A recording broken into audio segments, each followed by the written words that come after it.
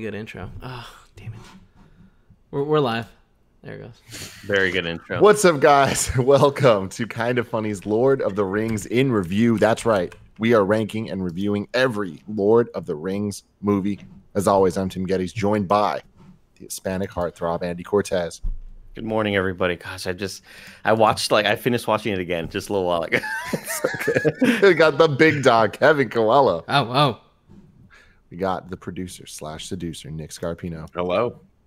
And joining us for all six weeks of this show, Funhouse's own Elise Willems. Oh my god, thank you for having me. I can't even I can't even uh in all seriousness stress what an honor this is and I really hope I don't let you guys down.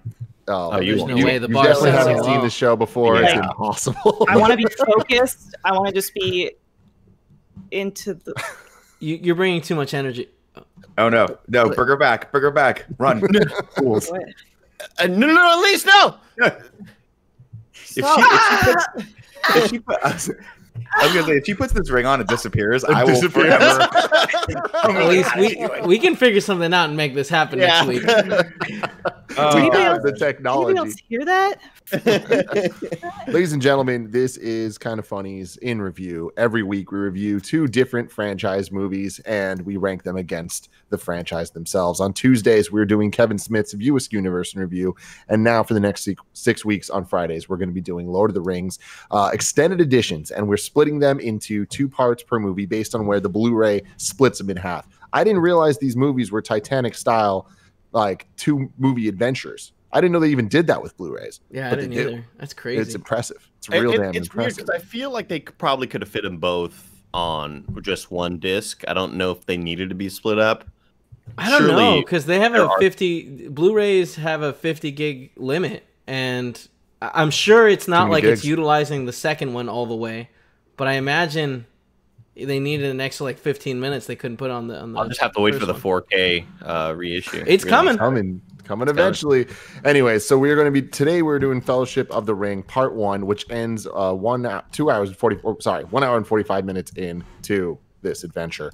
Um i want to give a very shout out to everybody that's watching live on twitch right now twitch.tv slash kind of funny games. You can watch the show live every week. If you want to watch it later you can go to youtube.com slash kind of funny or roosterteeth.com if you want to listen to it that's cool. You can go to your favorite podcast service and search for kinda funny reviews and we'll be there too. If you want to get the show ad free you can go to patreon.com slash kind of funny. And if you want to uh, leave your review in haiku form you can also go to patreon.com slash kind of funny just like our patreon producers did muhammad muhammad cameron reagan steve powers lee polero julian the gluten-free gamer kieran o'donnell drew gardnier and al tribesman. We appreciate you all very very much. Today we're talking about lord of the rings the fellowship of the ring part one released december 19th 2001 directed by peter jackson who would go on to direct all of the Lord of the Rings movies, the Hobbit trilogy, King Kong in 2005, and most recently, Mortal Engines. Didn't you guys see Mortal Engines? No, No. Uh, I I own it on 4K Blu-ray. really? Okay. Paula really likes it. I don't know why. It's it's not a great movie. It's not. No, it's bad. But we have it. So if anybody wants to watch it, I think it's on the Vudu account. He is the third highest grossing film director of all time. His films have made over $6.5 billion worldwide. Um, this one had a budget of $93 million and had a box office of 88 eight- $887.8 million, making it the second highest grossing film in 2001 and the fifth highest grossing film of all time at the time of its release. Um, a runtime of the entire part or an entire Fellowship of the Ring is three hours and 28 minutes without credits. So The credits are so long. I, I So did not.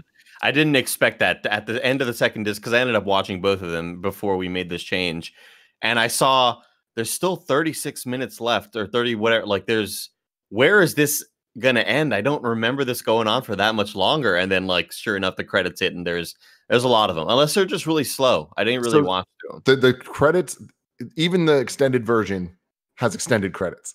Oh, so there was there was something where um you could support making the extended edition or whatever, and, and like if you Oh. pre-ordered or something, you you got your name in the credits. like So that's why- Patreon people. Like Exactly, and it Oh, lasts okay. like ten thousand years, and you see Al Yeah. Tribesman, you see Garnier Fructis, all Yeah. that stuff.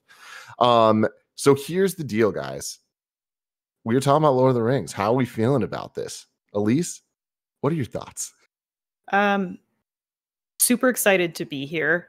So, such an avid part of the Lord of the Rings culture in my day to day life every day. I'm part of a, a meme group with friends, Lord of the Memes, where every day we're sending each other memes.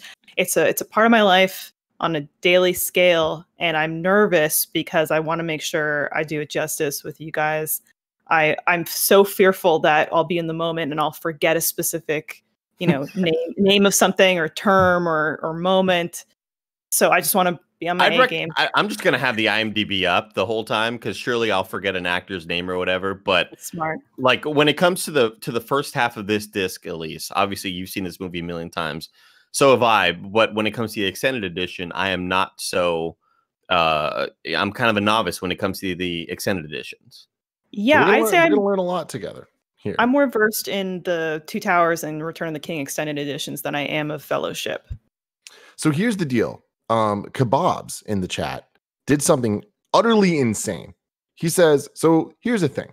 This is a gigantic thing. I wanted no expense spared when it came to the future Lord of the Rings in review series. There's so many cool facts and stories around this legendary trilogy that I love so dearly. So I went all in.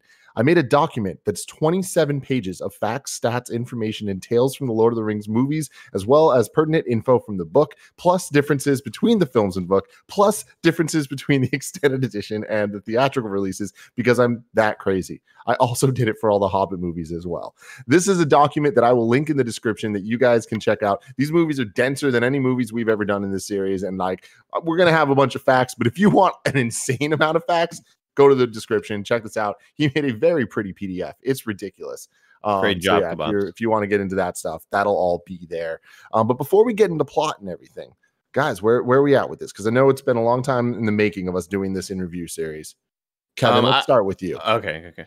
Uh, I really enjoy these movies. I'm excited to talk about them. Of course, we've got the long going, like, running joke thing where we insult this series. But I mean, it's good. It- They're fun to watch. They're long. God, they're long. But That's but that's the thing for me too, right? Is like I watching these back, obviously, all jokes aside. I mean, Kevin, Kevin, you and I are gonna have to have a truce on this for the next six weeks. Otherwise, no bullshit. We can make fun of it when it's like, Oh, no, here's another shot of them We're gonna walking. make fun of it because we're gonna make fun of it, especially when the Hobbit jumps into Gandalf's arms, and you're like, look at how little. he is." um, but oh, we're definitely gonna have some fun with this. But like all kidding aside, with with the rivalry with the the, the clerks and Lord of the Rings, um, watching this Let's back, let's reach across the aisle right now, guys. Let's reach across the aisle. Everybody, everybody. Thank you, thank There you very, is. very much. This is true. Um, I got a lot more out of this, I think, watching this the second time because I watched this with subtitles so I can remember, like, get everyone's names because there's a lot of names that are very similar to each other, uh, especially when they get to their dads and it's like Aragorn, son of Arathorn. And I'm like, do we just change one letter there? Is that we were a little lazy on that one? JRR. Um, but watching it back, I'm like, uh, this this series is so steeped in lore that if you ju- you just have to get into it, you have to bury yourself into it, and you have to snuggle up to it. And once you do, um, I started really getting. I, I really enjoyed watching. I only watched the first half because I wanted to be fresh for next week. So I really enjoyed going in this. Just kind of haven't seen these movies in probably ten years, um, and I was I was I I was like pleasantly surprised how fast they went and how much I was enjoying at least go- getting up to the council. Yeah, for me, I, I've only seen these movies once, and I watched the extended editions in one weekend, all back to back, and it was a lot. And it, it was one of those things where I'm like, "This is really pretty. It's obviously super deep. I, it just goes over my head. Too many names are similar. Too much stuff. I'm like, I'm missing out. I don't really get this. I was young enough that it was just like my attention wasn't there, you know. So I, I've been really excited to go back to these movies. When we first started doing in review, uh, when we did MCU in review, Gia was like, I'm down to like, I want to have my like my gaps in knowledge filled when it comes to different uh, movies and franchises, and I want to be able to understand these cultural zeitgeist moments. I will watch any franchise you guys do, except for Lord of the Rings. She's like, I'm not fucking doing that nerd shit. That's too far. That's a bridge I will not cross. Understand? And the reason for that is similar to me. We both just don't really like this type of high fantasy stuff. Like it really is just not my my vibe at all.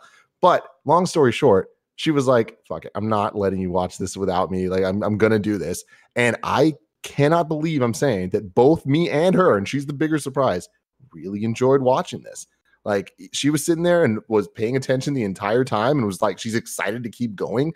And I'm feeling the exact same way, where it's just like, this is it's it's dense there's a lot and a lot of the complaints that I had before are still still there, but having subtitles on and really kind of just being fully engrossed in it, I love how much these movies commit. Like these films are are I can't believe they exist. Like it's I- kind of just like wow, they really emotional took right these now. books and were like, Yeah. we're making this a, a thing that is we're, we're going all out and we're going to make sure that it's as nerdy as fucking possible because that's what this has to be. It wouldn't work if it was any less production value. And my God, it works. Yeah, and you, I'm ha- and getting you have emotional right now. Oh my god. There is do the you got? man that did it. The man PJ. Peter PJ. Jackson. Peter Jackson. Number one, he did it. He made the Oh, movie. I thought you were pointing to James. I was like, did James make the Lord of the Rings? Did I not know this about him? I, I that makes me so happy to hear it, Tim. It makes me I'm thrilled right now. Um, I I was really worried watch like when we sort of committed to watching the extended editions because I know I'm glad we are out we are splitting them up. I think that is ultimately the smarter decision, just because I know that they it's a commitment and uh I, I think the theatrical versions are more easily digestible, but this is like my first time watching uh, Fellowship recently that's extended, uh, uh, the extended version. And for someone like me who loves these movies, and I've seen I've seen the theatrical versions dozens and dozens of times, but um, I just got so much out of the more backstory. Um, I, I think character moments are made a lot more impactful because you see interactions between people more and more, and you start to really feel for them. I like I am I am just uh, these movies are miracles, man. Like they the fact that these movies happened and are Came out in really damn 2001. good. That's It's- the other thing. 2001. It, it it it really reminds me of somebody was talking about the original Star Wars trilogies and how we haven't really felt that way about Star Wars since then. Like you know, like sure there have been some good movies here and there, Star Wars wise, Racing. but but when it comes to the to the OG trilogy, some people have called said like, what if it was just a fluke? Like, what if three movies were made and like it was just lucky that they're so good, and to make new ones that are just as good is impossible. And I feel like with Lord of the Rings, it's just like they hit the nail perfectly, three out of three. It's funny and maybe and maybe that's why the hobbit just isn't as good to us because it's like how are these movies so good and how did they well no the made? hobbits the hobbits are bad. I mean like that's the same thing. It's interesting to make that analogy because the the three prequels that came out years later suffer i think from the same thing where it's like there's not as much substance and the Yeah. stories are kind of thinned out. Some of Well, the visual stuff they're doing is experimental and cool. Certainly when the prequels came out for star wars there was like all like green screen scenes like Yeah. that weren't a thing. And they both had trouble like Yeah. really really bad Yeah. development cycles and a lot of issues. to, to that point though people point to the hobbit and they say well it's plagued by development issues you know. Guillermo del toro was attached he's no longer attached. They had you know they they were going to do the white orc as a as a person they got moved to see like all these things beleaguered that production. Lord of the rings faced those same things if you look back at it. You know you have Stu- stuart townsend being swapped for viggo mortensen. You've got peter jackson pitched it to two studios before lionsgate said yes we'll make this movie. And they were even pitching it down. They were pitching it as like two movies because they didn't think anybody would take a chance on a trilogy. So i think to what you're saying andy it's a i do think there is a certain element of fluke perfect storm the talent the recipe for talent and just the industry being where it was. It was all all a great cataclysm of these things coming together and working which doesn't usually happen. To to you tim too i think that you know i don't want people to kind of like criticize you guys because i do really love that everyone's rewatching it and thinking like oh i'm getting something out of these movies. And i will say uh for the people that are going to criticize you i was there too. I was a skeptic. I did not see fellowship in theaters um, because at the time it was 2001 and fellowship comes out and you'll remember another movie coming out that year pearl harbor. And i was i was so uh More important of tired of blockbuster bloat and poor delivery on you know story and cinema experience. And and i was like i was over it. I to me i, I looked because i didn't know the book so i looked at uh, fellowship at face value and i went this is some blockbuster you know that's trying to give me an epic i'm, and I'm so over fail. it's good Yeah, yeah, it's I didn't. It wasn't until Two Towers that I was like, "This is this is art. This is a masterpiece." yeah. And now I, I, I I was watching the uh, sort of the making of, and I loved how Peter Jackson. They're telling the story about Peter Jackson pitching it to the to the studios, and that they went to like Miramax and they went to all these people that were trying to just get it into one movie, and they were like, "Man, we're failing, we're failing," and they took it a new line. They're like, "We'd like to make this two movie series," and they're like, "No, we can't." Lionsgate. Uh, uh, yeah, I don't know. I don't remember. Sorry, at least I'm just zoning No, out. I I'm just don't- I so excited. I'm like, did I say But that then yeah, so he takes it to the new line, and they're like, "Yeah, we can't do two movies. This has to be three. And they're like, "Oh my god, are you fucking kidding me?" And then so like they're like, "Immediately, let's sign this right now." And like it's just it's so awesome. Yeah, what's what's crazy to me is like it was Tim Tim uh Tim Tim is kind of funny. Tim Gettys, go ahead. uh, ignorant question here. So were these three books? Yes. Yes. Yes. Yeah. Okay. So how the fuck would Well, they like we're gonna make well, two movies? And well, here, this is my point, right? Is that uh, the reason why I think these work so well is the same reason why the Hobbits fail is that the source material for Lord of the Rings was so strong, and the fact that they were three books, they were they were uh, classics by this time, um, and you have all of this great lore that J.R.R. Tol- Tolkien uh, wrote into it. Then you get to the Hobbit, and of course, a lot of people. This is the thing that people argue back and forth. They're like, "Oh, he wrote all this stuff and the Silmarillion and all this crap."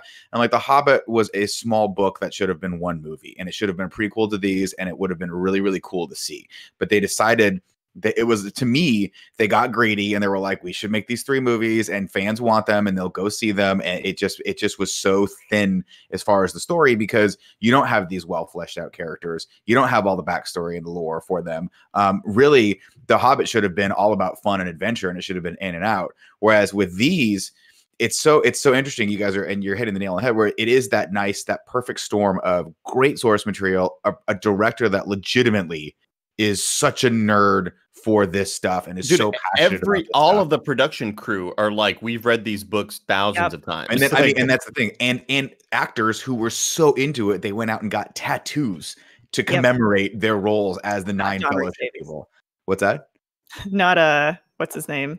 John Rhys-Davies. Oh did he not do it His stunt double did. Gimli. Oh. yeah. John Rhys they, uh, Davies. Do you- what do you Double, Tattoo. yeah. his maybe, stunt double got just just to be in the just to be in the group photo, like he's Yeah. like looking Um, down. Uh, man, so- if you if you can't keep track of the characters in Lord of the Rings, try keeping track of all those fucking dwarves in The Hobbit. yeah, I don't that's know. the problem, right? Is you get like the the Lord of the Rings to me is easy because eventually it whittles down to like the two different um, spoilers for future, but like the Fellowship is the Fellowship, but eventually it starts whittling down to the the two story. Uh, uh, it's basically story points of like Yeah. Hobbit and Sam, and then the rest of them. And so you kind of get, to, but you also get to know these characters, and th- there's a heart to this and a story, uh, a character arc to a lot of this stuff, specifically with Sam and with uh with Frodo and their relationship and how they have this bane that they have to carry and this cross to bear. And that just that right there to me is not what the Hobbit was about. We're, but we're we're getting off track. Sorry, we, we have a. I could talk one, about that. one last thing that, that, like I just want to just tiny bit going off track. I really hope the Amazon show is good. I really because like there's so much lore missing from these movies that the Amazon show could really like add to that would be incredible. But we'll, we'll see how that goes. yeah. Peter Jackson talked about Tom Bombadil. Was like, like, yeah, we would have loved to have added that, but that doesn't really further along the plot really of like Bilbo's mm-hmm. story. but it's you know? also it's also an unnecessary plot like plot interruption or complication that would have caused i think in my opinion more questions than it would have answered because when you have tom bombadil who is this like unbelievably powerful being who was like the ultimate you know protector of his domain the question starts rising like why don't you just have him go fight sauron Yeah. you don't want you don't want that. it to include his songs. It's just kind of like unnecessary pleasantries that Yeah. divert from the actual plot. And to and to that point too, I think the songs uh, uh, there's a lot of like songs missing from this because they sing constantly in the book, which was my most annoying part because I was like, I don't know what the melody is to this stupid song. I don't know what the hell they're talking about. I'm glad they cut that down. 'cause I Well, think to be clear, to not be have- clear, you read these books, right, Nick? yeah, I read all of them.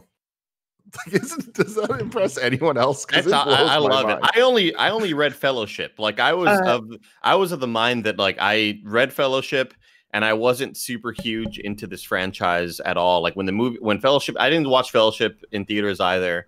Um, up until when Two Towers is coming out, that's when I finally watched Fellowship, and then I absolutely fell in love. And then like call like the end of high school going into college was just like all we would do was play World of Warcraft with Lord of the Rings on in the background. And like it was just such a part of my life for like four years straight where TNT was always showing the trilogy. and like that's that's just kind of it's such a big part of my youth. Did Th- did that's nobody the- have to read it for school, like The Hobbit? Yeah, Fellowship. Oh. No, not I had the to read the Hobbit. Hobbit. Never had to. Oh, yeah.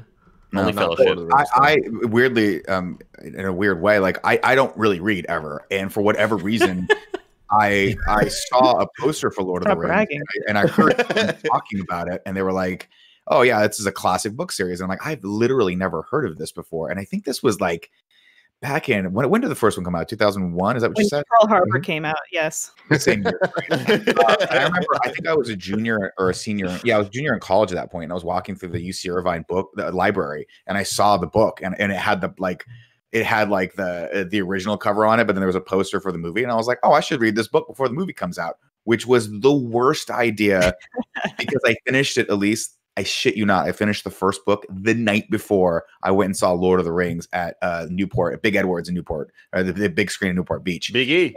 I was so bored when I watched the movie Oh, because it's such a faithful reproduction. I'm like, I just just finished this that. story. Listen, this is how stupid a 21 year old Nick Scarpino was. I was like, I did not learn my lesson, so I did the same thing for uh, Two Towers and Return of the King. I was, I just kept finishing the book the night before the movie. I'm like, why am I doing this to myself? I, I imagine you cannot say that when it comes to the spectacle of Helm's Deep. Like you can't say like, "Oh yeah, I'm bored watching this visualized." I, I just think that the stories didn't. I, I so when I future read the spoilers, future spoilers. Yeah, Yeah, so, so that's the thing. At least we don't do future spoilers on the show. yeah, yeah. nobody, but I- nobody, kn- we don't we know what don't- happens in the future, guys. We don't know what. but I, I, what I do want to say is that they mentioned in the making of that. Uh, it's crazy that you didn't hear about this book, Nick, because they mentioned that uh, several years after the trilogy was written by Tolkien, that it was the second most read book to the Bible. Oh, that- yeah, I mean, like such a without a, doubt, it was the most That's crazy to popular sci-fi book, or you know, I would high like fantasy how- book ever. I would like to see how Harry Potter knocked that thing off the throne. I'll just say it that way. There's Oh, probably a three-way tie right now between Lord of the Rings, the Bible, and Deathly Hallows. Um, so no, for, to- for me watching like this the- one for the first time uh, like r- pretty much for the first time like going into these movies it's just like i've seen them like i said once but it's like it nothing nothing stuck with me yeah. and especially with these extended ones being as dense as they are like i'm just gonna fucking say it the hobbits are probably gonna end up being my least favorite part of these movies and for them to be so the focus of so much of this I was like, I don't know, man. I really don't know if I'm going to be down with. There's too many of them. It's just like, okay, Frodo, I can. It's Elijah Wood. I got that, but it's like, okay, there's four. But I'm like, I feel like two But- I'd be okay with. Yeah, But there could on, be let, three. Let me keep going. Let me keep going. Let me keep going. So it's like watching all this. I feel immediately. I was like, this is why I don't like these things. But then they start developing those characters. And you see them interact together. I'm like, okay, okay. I feel like it's a weird thing where the extended edition allows these characters to become things I like in Yeah. spite of me being like, I don't want to like this. So then by the time we get to freaking uh uh Riverdale, Rivendell. Rivendell. Close we get enough. to Rivendell, and it's like we get there, and uh, then they're like, okay, now we got the fucking arrow guy and the sword guy and the fucking this guy. I'm just like, Mhm. I fucking earned together. this, and this is awesome. And then Oh, I'm yeah. like, then the little hobbit motherfucker comes out, and he's just like, like I'm gonna fucking take the ring. I'm like, damn right you are, because you're my boy. It's just like, how did you win me over this much on these And little then I've shits? seen- we'll, I'm talk, honestly- we'll talk about it. But when Sam steps up there and he says, "You ain't going nowhere without me," Oh my god, oh, Dude. I will. I will Dude. say to that point, Tim. I was actually I was dreading watching the extended versions of these because it takes me so long to do the plot synopses. Because I want to like for, specifically for this, I was like, I want to make sure I get everyone's names right and just don't call him Sean Bean the entire time. Um, but you're right. There's something about knowing that hey, listen, we're gonna hunker down for four hours, and and you just you just sort of like melt into the material and you you have to have patience with it but once you do that extended version does kind of fill in some gaps and it lulls you into the story a little bit more uh, than I think the theatrical cut did. Of course, I haven't finished this movie yet, nor have I finished the other 19 hours of the next two movies. But uh, but we'll see. I, I think I'm going to feel the same. Sorry, James just walked by and it totally distracted me I because know. his I- I think we're all right now. That's the cool thing for me watching this though is like that moment happens and like they're all joined him together and it's like hype as fuck. They're like, and for me, the part one ended that could have been the end of this movie, and it would have felt like a complete movie. Mhm. Like we had an action scene, like climax. We had all this stuff, and I'm just like, And how honestly, the fuck is there half this movie left? Like that's they- insane to me. if they made that movie now, they would have made it six parts. This would have been six movies, and I it would have been fun because they could have probably added 15 more minutes to this movie, like more action stuff with Arwen and like the the ring wraiths, and they could have made it two hours. I'd have been like, dope, I'm in for the next one. But no, man, we got a lot more of this movie. Is there a giant spider that it comes in this one? Maybe. Hey, come on. Hey. Nick, it's so Nick. simple to not Nick, spoil you're so things. bad at not doing the spoiler. Uh, really quick. I uh, I looked up the most popular books of all time, and it, Lord Harry of the Potter? Rings. Lord of the Rings is number seven. Harry Potter number five. So you know what I What mean? what are the other ones? Is it like Uh, The Quran Bible. Yeah, the The Bible the the- Holy Quran is number one. The Bible is number two. Then quotations from Chairman Mao. Naturally. Yeah. Okay. Yeah, Yeah. and number four is Don Quixote, which seems like a Ah. mistake. Where's the Count of Monte Cristo on that? To We'll dream figure the that out later. impossible dream. Where's Monster House? Goose Goosebumps No. number one. No, the Count, the Count of Monte Cristo is not on here, but number nine is tied with four books. One of them being The Hobbit.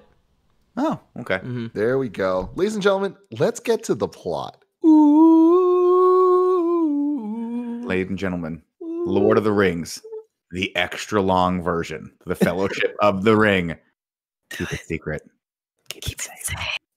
The world is changing. I feel it in the water. I feel it in the earth. I smell it in the air, and I taste it in the talkies. Andy, Uh-huh. most that once was was lost. For now, uh, for none who now who live remember it. And I'll tell you right now, if you're starting your movie off with a voiceover from one Cate Blanchett, give them the Academy Award right now. give them the Academy Award or 11, whatever it is. We get the title screen, Lord of the Rings, Nick, and the music is if- hot fire here. If I may just tell you, Cate Blanchett wasn't the original choice to record that VO. Who do they want? Gandalf? Like they like Peter I think Cullen. Ian McKellen did it at one point. Somebody else did it, and then they were like, "Yeah, Cate Blanchett." well, it's interesting because yeah. I don't, I don't know. I can't. I haven't finished the movie yet, so I can't remember if her character pops up in this. But man, Cate Blanchett is just. First off, the woman never ages, and I'm okay with that. Whatever, was- whatever what- what's up with that? she's doing, I want. I was in. want in. telling I was telling Nick like you know she looks the same here that she does in Thor Ragnarok, and they were filmed 16 years apart. Like that's She's a perfect being. insane. Great for Uh, her she just she Speaking of just got the- cast as um, Lilith in Borderlands. in Borderlands, the movie. Yeah. Yeah, and and people are they're saying ageism, and I'm like, "You're a sexist shitbag." She looks amazing. yeah, yeah, yeah. Fuck you all. Um, She's speaking of the Academy she's gonna look Awards here, Nick, uh, the film received numerous accolades at the 74th Academy Awards. It was nominated for 13 awards, including Best Picture, Best Director, Best Adapted Screenplay, Best Supporting Actor uh, for Ian McKellen, Best Art Direction, Best Costume Design, Best Film Editing, Best Original Song for May It Be, and Best Sound. And it won four Best Cinematography, Best Makeup, Best Original Score, and Best Visual Effects.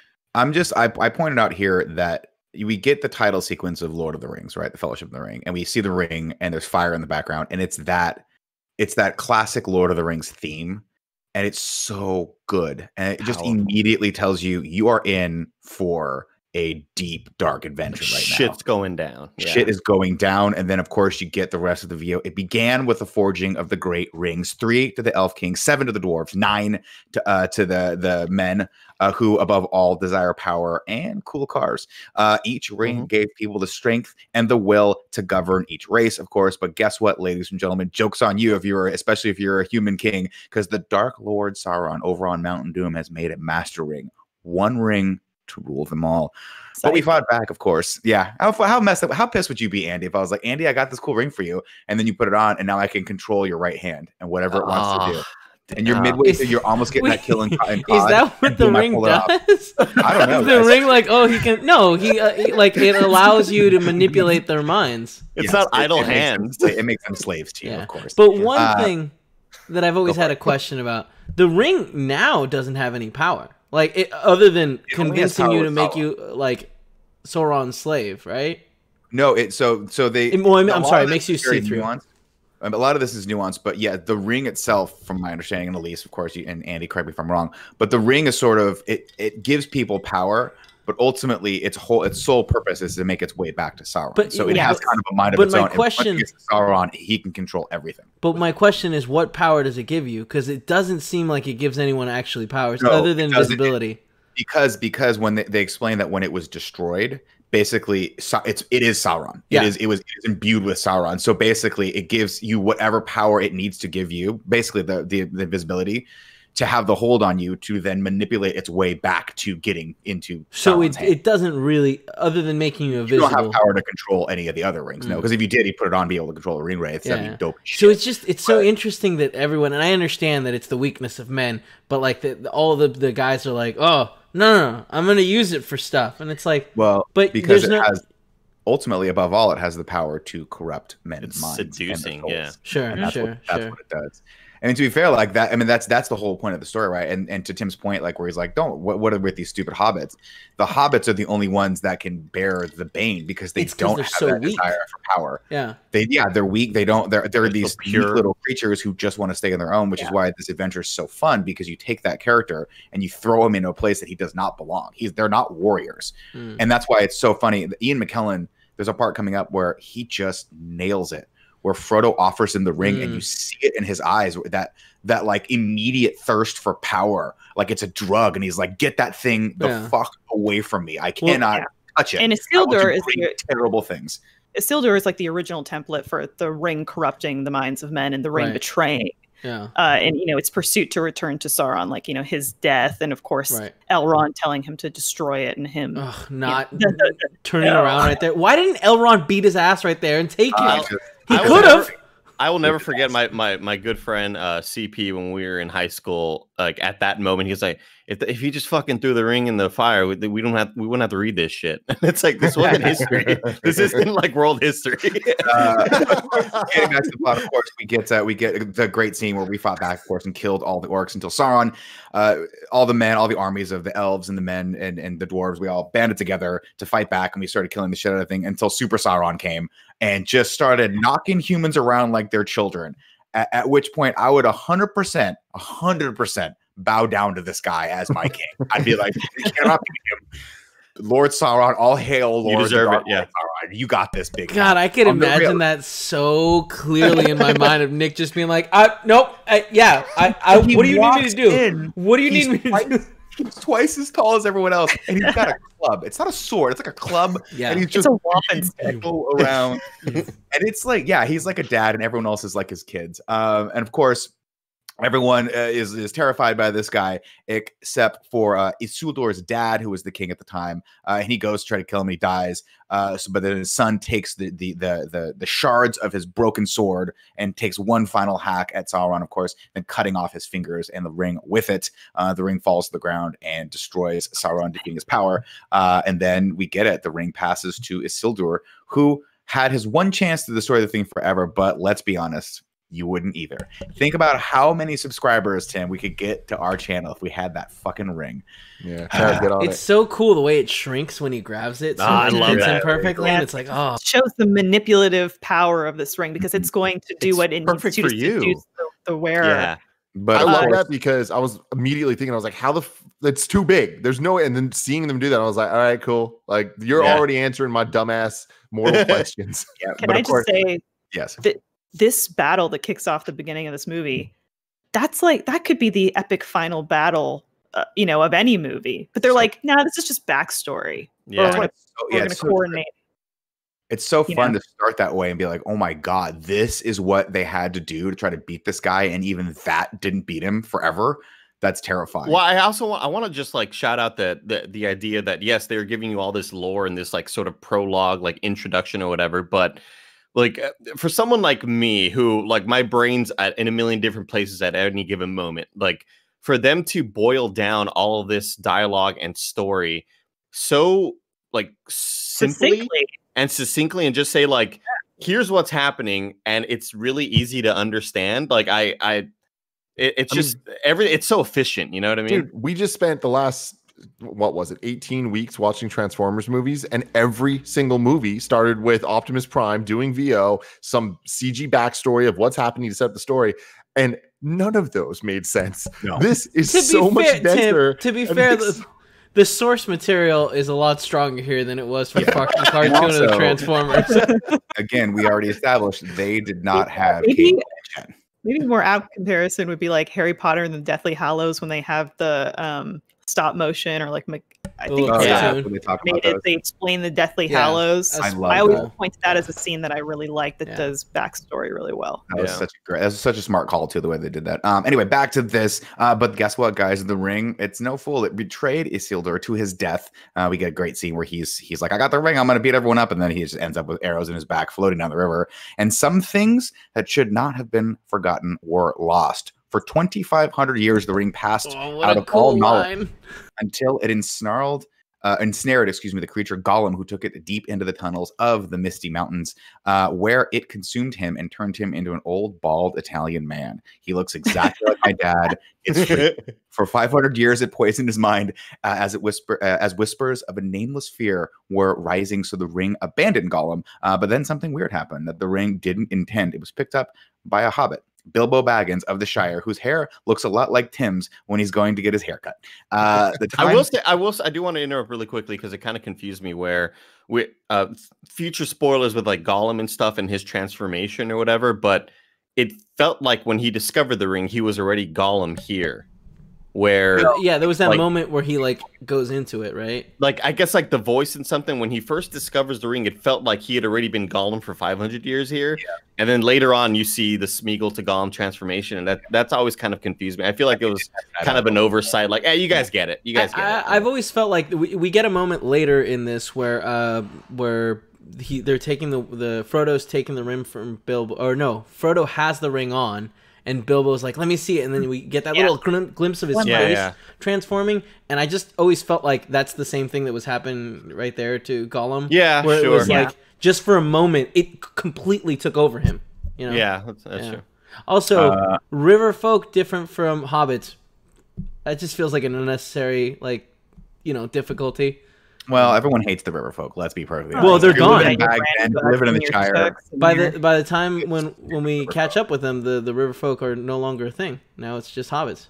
There it is. Uh, the time will soon come when hobbits will shape the fortune of all. And we flash forward to the 22nd of September, 1400. We look at a map of the Shire. We see Bag End, we see Hobbit Town, we see Middle Earth. It's all a little bit confusing, but it's the third age of this world. and so we're starting to get a lot of that backstory and a lot of education on what's happening here. Then we catch up with old Bilbo Baggins' house in Bag, uh, which is called, his house is Bag End, right? Mhm. That's the name of his house in the Shire in Hobbit Town. Is that the correct way to do it? Or is it Hobbit Town? Hobbiton. Is the Shire the, is the Shire the county and Hobbiton is the city The of San state Francisco? or something. I don't know how all this works. Uh, anyway, there and back again. Where to begin? He's trying to write his book. Ah, yes. Let's tell the audience what a hobbit is, so they don't know it's a town, so they don't think it's a town of small Italian farmers who eat a lot and have a really hairy feet, like my uncle Lou. Uh, hobbits like food, booze, and weed, son. Oh, and peace and quiet. I think Cool Greg would get along with these small people very, very, well. Uh, Bilbo got a knock on the door from Frodo, but Frodo is nowhere to be found uh, to answer it. Instead, a young boy is out. The young boy is out in the forest, waiting to hug a very old wizard, Gandalf. Uh, when he spots Gandalf coming down the road in his cool little old man cart, he jumps into the old man's arms, and they fake laugh and they fake laugh. And Tim, you know how much I love fake laughing in movies. Dude, I, Just I can't deal with Elijah Love Wood it. in this movie. I hate him Every time so I see much. him, I'm just like, what was your direction to just have fun? Like that's it. Just have fun, Elijah. They're so have pure. fun. I, would- I think here were the two. Here were the two directions: be be uh, innocent and flirt a little bit with everyone with your just eyes. a little bit. Just a little bit. Just flirt a little bit with everyone. Well, he always seems like he's got a secret. Yeah. You know, he's I telling everyone else to keep their secrets, but then he looks like he's got a secret. Yeah. He- I think we all know what his secret is. Uh, His ring, right? He's got the ring. Yeah. He's head out of the gutter. Uh, Gandalf came back for Bilbo's B Day. It's his 111th B Day, and man, this one's going to be a banger. Uh, Frodo tells Gandalf that billboard. uh, Bilbo has been a bit off recently, and we get a scene where Bilbo can't find his ring. He panics until he finds it in his vest pocket. And I love all this stuff too. Uh, we get I wanted, little. I, I wanted somebody make to make a meme of like where I am Frodo and Greg Miller is Gandalf, and it's like how Greg would let me hang out with him before I joined Kinda Funny. And then when all the kids come up to say hi, like that's it- them yelling beyond with the fireworks and stuff. Like if someone could Mm. like sort of like you know film that out and make that an after You effect. fantasized about this for seems like years. lie. haven't you? Uh, it's like course, yeah, I get to ha- I get to hang out with him. Like he's the cool guy, you know. As they're riding into town, we give a little reference to the adventures of the Hobbit because the old people shoot Gandalf right looks. Uh, they The all the old dragon? People think he uh, they hate him because he disturbed the peace back in the day, but the kids love him uh, because he brings firecrackers and candy and a cool van. Uh, when Gandalf arrives at Billboard's at Bilbo's, he notes that despite being 111 years old, Bilbo has not aged a day, and we all know why. Curious. It's that Damn Very curious. Oh, Gandalf knows why. Yeah. Bilbo Uh, knows why. And then we get one of what I think is just one of the most fun effects in the entire movie is that Gandalf comes into the into the Hobbit's house and we finally get a sense of scale and he's just bumping his head on literally everything because the house is built for people. To Which- live. Uh, oh, Go for it, every- Larry. Oh, no, you everyone go. You know. You know. well, the fun the fun fact here is that was uh, an accident. He hit his head, didn't mean to, and he just acted it off. It's yeah, kind of like Jackson said, "We'll keep yeah. it." Django Unchained, you know. Keep it. We'll keep it. Keep There it keep that sign Keep it in. in. Keep it keep it in. Yeah, there you go. Uh, uh, let's see. Bilbo wants to see the mountains one more time when we find uh, and find some peace and quiet to finish his book, and then ascend to Elf Heaven where everyone looks like Cate Blanchett. Sign me up. That night, the party is on in full effect. We meet Samwise Gamgee, who is in love with Rose, uh, as well as Pippin and Merry, who uh, would go on to die in Lost. Remember that? Uh, Not Penny's boat. Great moment. Yeah. Uh, Bilbo and Frodo have a nice moment where Bilbo tells Frodo he's uh, he'll be uh, all right, and Frodo's like, "Are you dying of cancer? What the fuck is happening with you? Like, what's up?" Uh, and then Merry and Pippin blow up a tent with Gandalf's fireworks, so Gandalf makes them do dishes while Bilbo gives a speech. Uh, he tells the audience uh, that he has stuff to do, man. He's he's put this off for long enough. He bids them all a fond farewell, and then boom, disappears before their eyes. And I have to imagine that if Kevin had the ring, What he a would fucking cool party trick. all the time, Speech from Bilbo. all the time. I mean, you Uh, have to save it though. You can't just use it whenever. Otherwise, it's like, oh, he disappeared again because that's what he does every once in a while. They also the, If the, I the had this ring, we would abuse this feature all the time. Oh, we yeah, the, the ring would have corrupted you so quick. I would I be think- in by Tim's desk every day before he arrived, just completely invisible. You would Oh my be God. sitting in Yeah, my that's exactly what I was then have to thinking. sit on you. And it'd be like, oops. Tim, you Pull the ring of out. Ooh. Did you not see me? Ooh. they Uh, added the uh they added the the dragon fireworks scene, I believe. Uh that's just like something that they they wanted to have uh to show that- they wanted that's in the original. no like Yeah, in, in the books it, no Oh, from, from the okay. books Oh, though okay. like the like they wanted to Show how show much fun. Merry and Pippin's personality and show like They're how mischievous dicks. and silly they are you know and so they Yeah. that's something that they added where they accidentally liked the thing and They do a lot in this movie to establish like Pippin and Merry as these troublemakers that are constant. You know, the when they start the fire to cook at the campsite, when they Yeah. when the the helm or whatever falls into into the mines, like they do a lot to establish. So that way, I think it makes you know it doesn't make Gandalf seem like a total asshole when later he separates them yeah and it's like okay you you know clearly you can't handle this uh the speech bilbo's speech one of the best moments i don't know half of you as half as well as i should like and i like less than half of you as half as well as you That's- deserve It's like Like, that's the everyone's end where it found turns. That's also, that's definitely the moment at the wedding where the best man is a little too drunk and starts telling stories he shouldn't, and you're like, cut him off, cut him off. yeah and then he disappears. Yeah, then it just bounces out. Uh, of course, he sneaks back home where he finds Gandalf waiting for him, and Gandalf chastises him for misusing the ring. Uh, Bilbo, as it turns out, is leaving everything uh, for Frodo, including the ring, which is in an envelope on the mantle. And then he goes, "Wait, it's not in the, on the, an envelope; it's in my pocket." And this is such a great scene.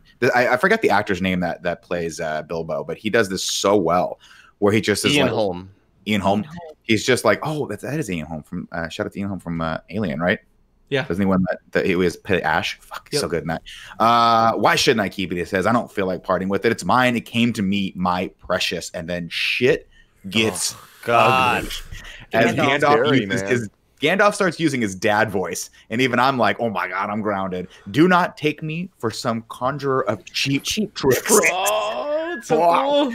Give me that ring, damn it. Uh, of course, Gandalf tells him to let it go, and Billboard, Bilbo. I keep saying Billboard, I'm but I do, I do, I do love like Gandalf first off saying like I've well, I've heard that before. What do you mean precious? So what are you talking about? Like I've heard tales of this before. It's just so damn like Ian McKellen is just a master.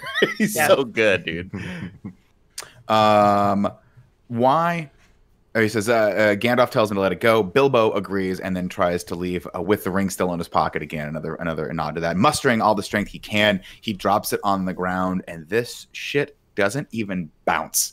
Which is terrifying. It just hits the sound ground like was weight. insane. Like I have the surround sound shit and the, the the sub. It was just such a low frequency. that, Like I almost shit myself from the, the ring hitting the floor.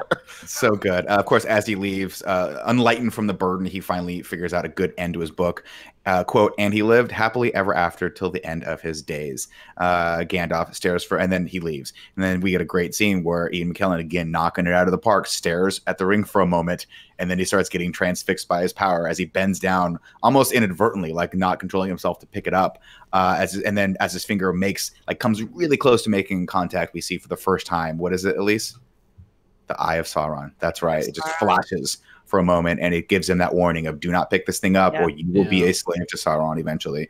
Uh, later, Th- of yeah, course, this whole this whole sequence leading up here of like of of Gandalf eventually doing all this research because he this is like the one thing that he's just absolutely in f- just there's so much fear attached to this like where he it's he's doing all this research and making sure like wait, there's no Yeah. possible What way could that this, this be?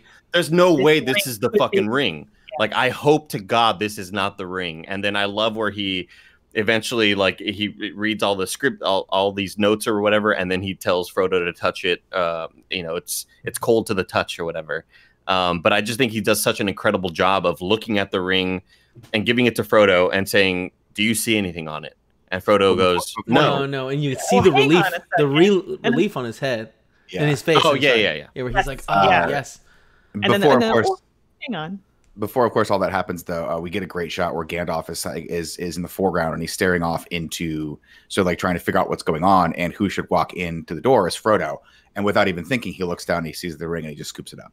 Um and that's uh gandalf tells frodo that bilbo bilbo has left him everything including the ring uh and but he's like i gotta leave. I gotta check on some urgent stuff real quick. And as he turns around with a lot of urgency he looks at the hobbit and says keep it secret. Keep it safe.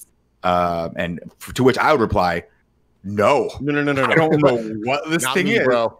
but I am not your guy right here. Yeah. Again, remember, if I see a 19 foot Sauron coming at me with a club, I am bowing down. I might turn to Tim and just kill him. God, Like, man. One of he's the- dead. He's One of the beautiful things in this trilogy is that everyone has this uh, respect and unquestioning faith in Gandalf. The Mhm. everyone in the you know the trilogy, the, the- all these the, the hobbits and you know Aragorn, they all have so much respect for him that if Gandalf says something, I I You it. think he's just such a great character. Well, again, he's got all the cool candy in the van. Uh, so he bangs out. We see you get a quick scene with uh, some screaming and stuff by Gollum, uh, and we see Sauron. I think it's Sauron's fortress of Barad-dûr uh, as we hear Gollum screaming in the background. Gandalf then heads over to Minas Tirith uh, to get some answers, and I believe this scene was not in the original one.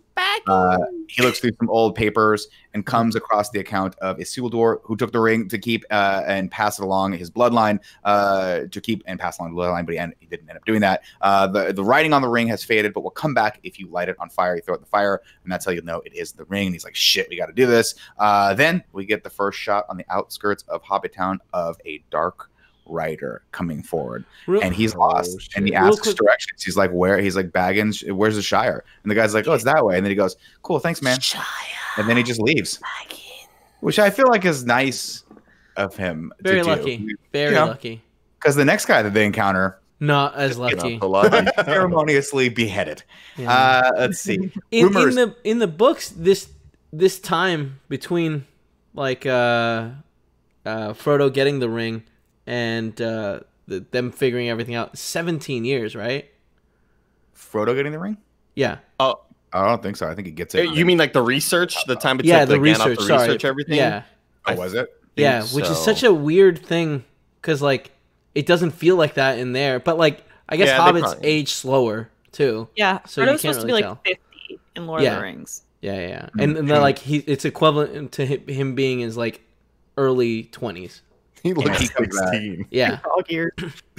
Uh, when we were, get when we were little, when we were little, Cool Greg used to. He went through a phase where uh, he would call me Dildo Baggins, of course. and he like he really committed to it for a long time. Really wish you hadn't oh said that, that's although- so good Oh, that's great. God bless cool Greg. Uh, we get uh, a cool shot of them in the bar. Rumors are spreading throughout uh, that there's there's some shit going down as Frodo and the gang drink. Uh, later that night, of course, Gandalf returns in a fevered state and throws the ring into the fire. He places it back in Frodo's hand, uh, and then much to his dismay, we get that shot where he's relieved at first as he's like, "There's nothing there," and then he sees the writing. And he's Again, like, just just Ian McKellen, and it was like uh, like some of the best acting performances, and it's so subtle, and it's just like his look of, oh, thank God, like everything I feared is like not true, and then Frodo goes, wait, and then he just Hold like he's like, his face of fear, like oh God, it's just so scary. it's it's got I've got to imagine that it's like you know when I was waiting for jury duty, right, and mm-hmm. like and they're saying like I was like in fear this whole time. I have to do jury duty. It's going to be such a nightmare,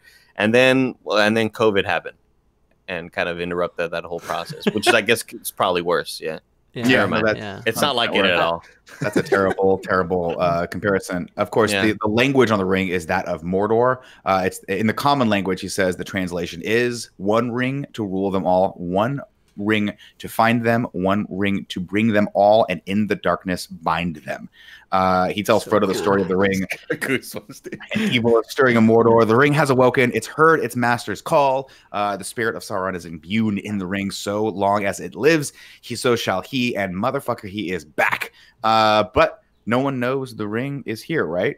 Do they, Gandalf? Do they? Andy, give me, give me a little. Do they, Gandalf? Do they, Gandalf?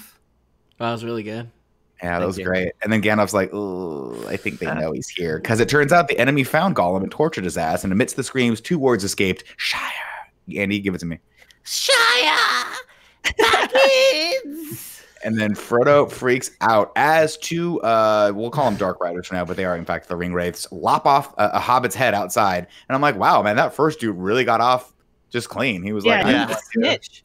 Yeah. yeah, dude. the snitch went free. Frodo wants Uh-huh. Gandalf to take the ring, but Gandalf cannot do it. Don't tempt me, Frodo. I would use that ring for from a desire to do Don't good, but me, through me, uh, it's it, I would wield a power too great and terrible to imagine. And he's like, "Well, this shit can't stay in the Shire, man. People will start losing their heads." Ah, I'm sorry, guys. I apologize. no, for that. that's great, Nick. That's good. Uh, Frodo packs and he's like, Frodo, you got to get out of here. So he packs and heads for the village of Bree, where Gandalf will be waiting for him uh, at the inn of the Prancing Pony. Uh, meanwhile, Gandalf uh, will seek the guidance of the head of his order. Uh, he tells him to stay off the main roads and don't tell people your name, and also don't bring any of your idiot friends. And if you do bring them, at least tell them what's going on, so they don't just shooting their stupid mouth off at the at the, at the bar So when they're drinking. Frodo goes by himself.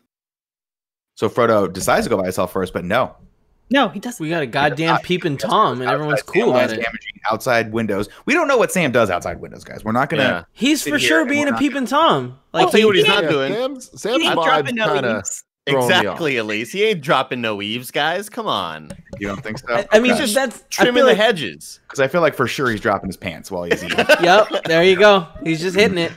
He's hitting his little hobbit. You know what I mean? Oh, Just God. whacking that thing's hairy little head.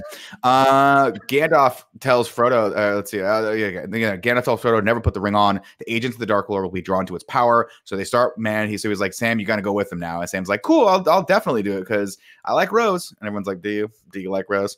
Uh, so they start walking, guys, and walking, and walking, Oh God, here we go. and walking. It's all Until they establishing get- shots. Hmm Until they get to that line uh, that Sam has never crossed. I love this little moment where he goes, "This is it. This is the this is the farthest I've ever been away from home. If I take one more step, I will I will go farther than I've ever been." And, uh, and to which Frodo goes, "Hey." There's a dark lord after us. So Yeah. get your hairy footed ass over here and let's get to the end of Yeah. the pouncing pony so that we can meet fucking Eastern promises and all I- of his glorious beauty. I do just want to highlight that highlight the line of like I think this movie does such a great job of setting up the stakes and like how scary and terrifying this is where he goes don't put it on Frodo remember it wants to be found. Yeah. it's just like oh my god like But, that's like, the again- scariest fucking thing ever. Again another master of storytelling uh, a stroke of genius for the storytelling right is that you have this great ring this powerful ring that will allow you to hide from everything but guess what? It also acts as a homing device from the people who are trying to kill you the ones you're trying to hide uh, hide from. Such a cool little moral dilemma that you have when you, when you, put this thing on. And also in terms Uh, of like building characters and, es- and setting setting this up as to why Sam is the real hero of Lord of the Rings here, and I'm saying that definitively now. But you're Wow. establishing these characters that are that are so uh, you know pure of heart, as Andy said.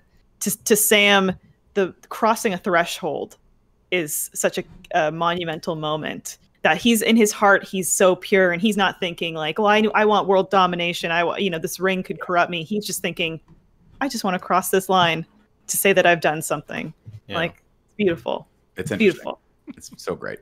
Uh, I don't know if he's pure heart or not because remember we did He just is. catch him outside. he wasn't masturbating Okay. Uh, there's a good chance he was. that- Come on, it's pretty just- clear. 10% What else was he doing? 10% chance that the reason he's not leaving, uh, never mind, forget about it. At least that joke's not worth it. Uh, then let's see. While cooking some protein, of course, they hear the song of wood elves who are headed toward the Gray Havens, the harbor beyond the White Towers. They're leaving Middle Earth, never to return. Uh, this, I think, is a scene that was added. I don't remember this Mhm. being in the, in the original one, but it's a cool little scene that sets up what the. It, it just kind of sets up what the Gray Haven is a little bit. Doesn't give you really much, but tells you that there's the elf heaven we all hope to get in one day. Uh, the next morning, Gandalf rides toward uh, hard toward uh, Isengard, seeking the counsel of Count Dooku, who may or may not be Darth Tyrannus, but now goes by the name of Saruman. Yeah. Uh, he tells Saruman, I'm going to say it like that because otherwise I'm going to start saying don't. Sauron. Uh, that the ring has been discovered and then gets chastised for smoking too much hobbit weed. He's like, man, you've been hanging out with those fucking hobbits too much, and those little fuckers like they're green. Uh, Saruman tells Gandalf that the Lord of Mordor has re- regained much of his power, though he can't yet take physical form. He can still see all through the eye of Sauron. He's gathering all the evil to him, and soon he'll be able to amass an army big enough to take over Middle Earth. Uh, and then Gandalf's like, dude, we gotta do something. When he asks how he knows this, Saruman brings him uh, to the Seeking Stone. Uh, but Gandalf freaks out. I love this moment. He's like, What a "Oh, Good you great use moment. the Seeking concept. Cool Stone?" moment. And he I goes, love- the, other, the other stones are unaccounted for, and they operate a lot like a Discord call that you have to make sure you leave because if you don't leave, everyone's just seeing what you're can doing on the other side of your camera. Uh, but I again, like this is what three or four lines of dialogue that easily set up such a complicated concept uh, of Yeah. like uh, you're using a palantir. Like we can't use that. Uh, they're Mhm. not all accounted for. We don't know who's watching, and it's just so fucking like well done in such a small amount of time. like we And immediately understand this like crazy thing. And And, again, for, for me, not knowing these characters at all and seeing them, like you get the the visual understanding that they're both good guys because of how they're dressed. They oh, look yeah. similar. We already know Gandalf is like this the fucking homie. So you see this guy like, oh, he's a homie too. And the way that they he with the the twist happens of like, oh no, he's he's corrupted, he's bad. It's like it hits so much harder, and you don't need to know their whole history because it's you feel it like ju- Right. and just little visual representation. I love. it. Yeah, again, again, Mhm. like dro- drop in the, the little cloth and covering the, the palantir, and immediately Sauron pops up again, and so you cool. see Ian McKellen's face, like, oh shit, shit. like, oh no, yeah, Great. so good. great visual storytelling on that one. Uh, of course, Sauron, Sa- uh, excuse me, Saruman also tells him that the nine have left Minas Morgul, referring, of course, to the, the riders that we've been seeing all around, lopping people's heads off. They will find the ring and kill the one who carries it. But when Gandalf tries to leave, Saruman stops him. Uh, there are none who can contend with the will of Sauron. And at this Now- point, I'd be like, again, drop down on my knees. You're right, 100%. Let's go. Let's kill Tim. Let's kill Andy. Let's kill Let's you guys you guys get that these riders are the fallen men that had the Well, not- the- Yeah, well, it the hasn't been rings. revealed yet. Yeah, I'm, uh, yeah, yeah, we'll, we'll I'm get sorry. to I'm sorry. I didn't mean to do that. But that, that's to me, it's just such a cool another moment. cool part of storytelling. Well, Well, it's his also minions, one of those his things that, like, minions are Well, when- also when the we way. see them for Yeah. the first time. It's so cool too because we see them as these ghostly figures of these king, these dead kings. It's so well done. Again, the visual storytelling to Andy's point earlier, where it's like we just see that flash of Sauron, and Now, as an audience, it's such a, it's so well done because now you are trained to know that anytime anytime you see that or it, it pops up, you know he's watching. You know he's got the influence over whatever that person or that thing is. It's so cool. Also, Uh, shout out, shout out to Christopher Lee and Ian McKellen for always saying Mordor. Like, I just love that they they Every roll time, they roll both R's. I love that. It's it's a lot. It's It a lot. sounds good. I like it I a don't know if I love it. They will, of course, find the ring and kill the one who carries it. When Gandalf tries to leave, Sauron stops him. Uh, let's see, he wants him to join up with the evil, with evil, but Gandalf ain't about that jazz. Uh, they get it on, man, and Gandalf holds his own for a while until Count Dooku uh, gets the better of him. Uh, Sauron gets the better, and he just twirls him up into the tower. Could we just Uh, for a second? Let, I mean, it's a stupid looking fight, right? I think it's cool. No, They're fighting it's with their breakdance fighting with uh, with staff. it's it's my, it's my thing is it's no- it, I, I think it's stupid looking because we have a visual understanding of what wire work looks like but i think in, in when we watch movies but i think that it contextualizes this really well in the scene that is coming up when he throws him off the building and he like keeps him this way it's like i that one shot to me convinced me that i'm like no they use their con- their powers and it is very rigid. So it's like it when they spin around and it looks stupid, it's like no, that's just how it would actually look. and you know, fighting doesn't necessarily need to I look will cool. say, I if I'm gonna have a wizard fight, I do think this is more interesting than you know Dumbledore or uh, like Harry whoa, whoa, Potter. whoa, and- No, whoa, all right, whoa. all right, slow down. Whoa, whoa. I agree. What I shooting agree. a fucking fire I'm- dragon while Dumbledore but- makes but- a goddamn water to, snake? to Elise's point, that one of the things that that's cool. well, so we're I'm I'm trained watching the Harry Potter series to have them cast the spells, but as you know, as everyone knows here, of course, because you're all well versed in Harry Potter lore, the more advanced you get as a wizard or a your witch, you don't have to say the spell anymore. So when Yep. we do get to that Voldemort, uh, uh, uh, Dumbledore fight, they're just cool. casting stuff, and it's so cool. But that's what we get here too. But we also think that's what remember the way. Harry Potter. We also remember the way Harry Potter stood when he was just like kind of like Give me an Andy. Give it to me. So lame. This is sucked. He sucked. All right, you know what? pants. You know what? Blue shorts, just keep seated, okay? You know what? let's get back to the plot here. Uh, let's see. this, this is gonna, this is gonna turn Nick's opinion. He's gonna start hating the Lord of the Rings now. You're, you're one more. You're one more Harry comment, a Harry Potter comment away from me just making up my I- own synopsis I for the love rest of the how movie. into it you are. I love how into it you are. All right, all right, all right. I'm starting to sweat a little bit. I'm getting the brow sweat right now. Uh, out in the cornfield, we get the first instance of Sam freaking out when he thinks he's lost Frodo. Uh, and this is a, to me, this was a, I, I, I glossed over this moment the first time I watched it, but I think it's really, really important because he has that moment where he can't find Frodo, and he's like, "Shit, like this is my purpose. I'm supposed to be here for him." Gandalf told me, and he says here, he says, "Don't you lose him, uh, Samwise Gamgee."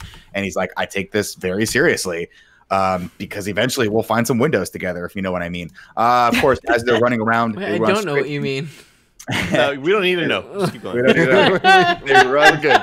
into Merry and Pippin, who have uh, who are being chased by a farmer because they stole all of his carrots and stuff, and maybe they deflowered his daughter. We don't know. There might be that. Uh, they all Those are some big ass carrots. You know what I they're, mean? well, they're normal sized carrots. No, I Hobbit. know, I know, but I like this time. Like, this is the first moment we see the scale of it. Like, aside from seeing someone in, like, you know, him in the house, but like, you- like this giant ball. It's like, oh, that's a, that's a cabbage, and it's like, Jesus, these guys are small.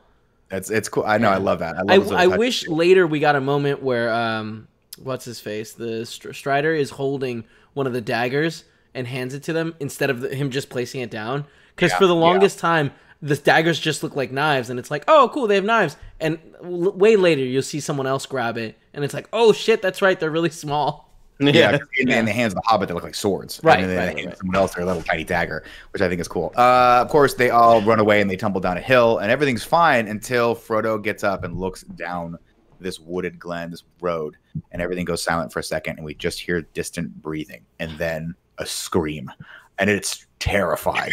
Uh, he yells for the So hobbits to get. good. He's like, "Get off the road! We got to get off the road!" And this is one of those things where I'm like, this just reminds you of like when you're terrified and you think something's under your bed and you don't want to leave your bed because they're just nestled in the nook underneath this tree root.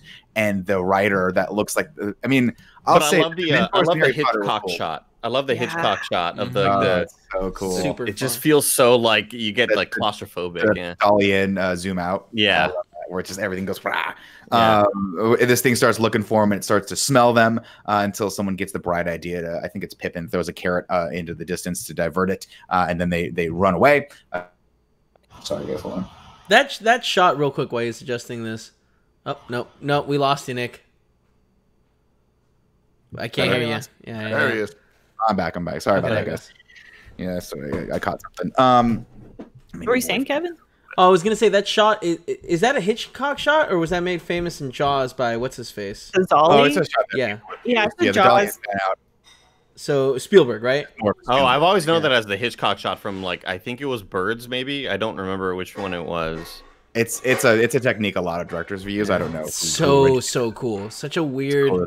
Thing. Oh, from Vertigo. Yeah, Vertigo. It's, Vertigo. Yes, Yeah, there's a Zolly in that too. yeah. Um, as they as let's see, once when the sun sets, the riders find them and chase them toward a river. Uh, this is a great scene. They steal a boat uh, to narrowly escape, and we're like, oh, do these things not like water? Can they not just swim after them? Uh, at first, I thought it was a lake, and I was like, just go around the lake. But then, of course, they make it a point to be like, where's the nearest crossing? Oh, it's like 20 miles away. Cool, good. It's a river. You can't do that. But And such a, you guys good, a great scary shot of like the the rider riding away, joining up with everybody else. Like we're gonna go get these little fuckers. I'm Like let's go get them, dude. It, it reminds me, I was watching a, a show called Meat Eater, Andy, which you love the logo from, right? And there's a great Oh, moment man. where they, they're out in the snow. They're out in the snow and they're they're hunting, I think, deer or elk or something like that. And uh, one of the people who's brand new, they come across a river, and she goes, "Can we just go around?" And the guy that's her guide goes, "If the water's flowing, you can't go around." So like, and I was like, "Oh yeah, that makes a lot of sense because it's a river." So you can't just keep. You got to go around until you find something that either goes over it or it'll eventually get to a lake. Love that logo. Yeah. It's pretty cool. Such a great logo. Anyway, it's pouring rain as they approach this, the, the city walls of Bree. Uh, they go in. Once at the inn, Frodo tells the innkeeper, he was like, What's your name? He's like, uh, I'm Ron Underhill. And these are my friends, the Underhills. And they uh, and he leaves word for Gandalf, who hasn't arrived yet. And, and they're like, Crap. And the guy's like, I haven't seen Gandalf. Gandalf hasn't been here in six months. And he's like, shit, we are screwed. Uh, everyone is, of course, super suspicious of hobbits because hobbits never leave uh, the Shire. Frodo asks, uh, he looks over and he sees this dope ass hooded figure over there just smoking and smoking. He's just sexy. So badass. Smoking a pipe, Yeah. sexy. And as he takes a drag off the pipe, it lights up his cool eyes. And you're like, who is that guy? Um, and of course, the, uh, let's see. And it gets even cooler because the Samwise Oh is like, oh, that's Strider. Like, Yeah. what? oh, Are you kidding? Imagine if he Strider was like, is "That's the the son of ring- Arathorn." No. No, no, no. Strider. Yeah. Strider. The innkeeper tells him the man is a ranger known only as Strider. And if you're known only as something, like you got a cool pass, man. Fuck You're- yeah, you're- dude.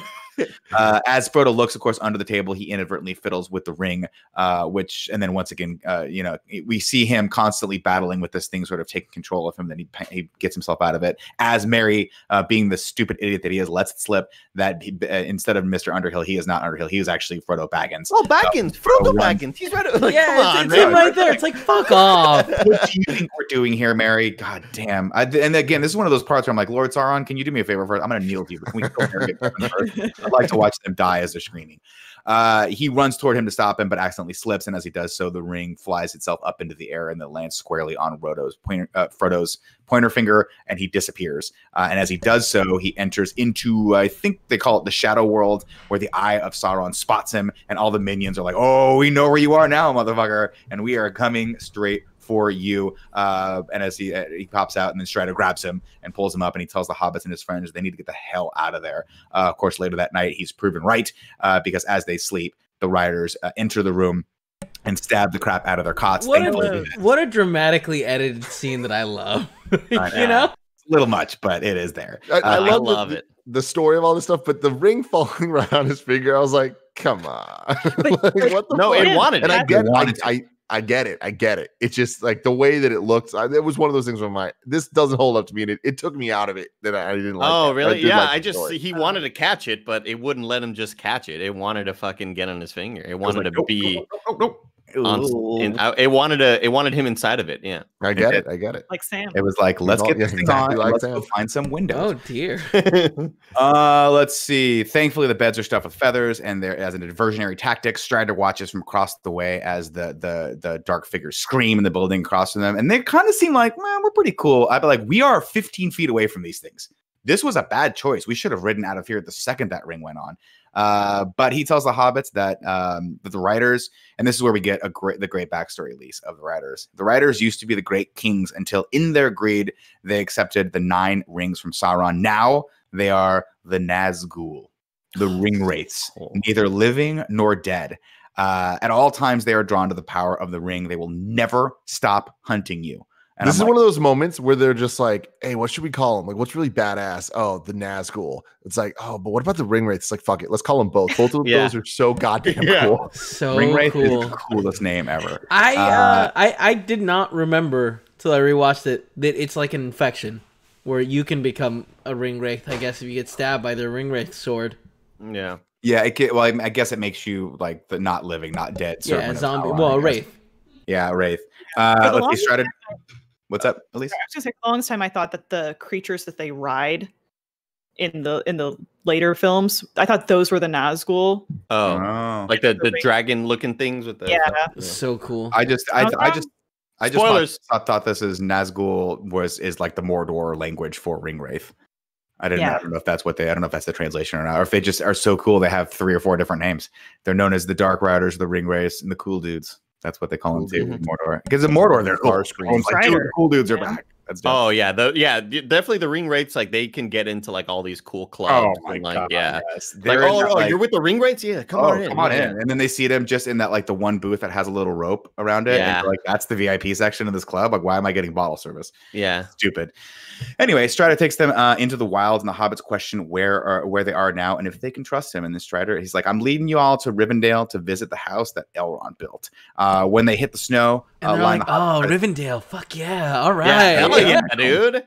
Uh, I love this part too. When they hit the snow line, the hobbits try to stop for a second breakfast. And you know what, guys?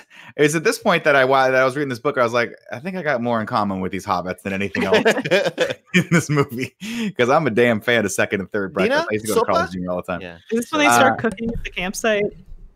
No, so Oh, they, no, uh, they more, and we get again we get a lot more topical. Like we, we get a sense of where they're walking, marshland, highlands, uh, and then they finally uh, come down in the or camp down in the highlands. I think Strider hunted a deer for him. We get a shot where he's bringing in some sort of. Uh, I think uh, that was added, right?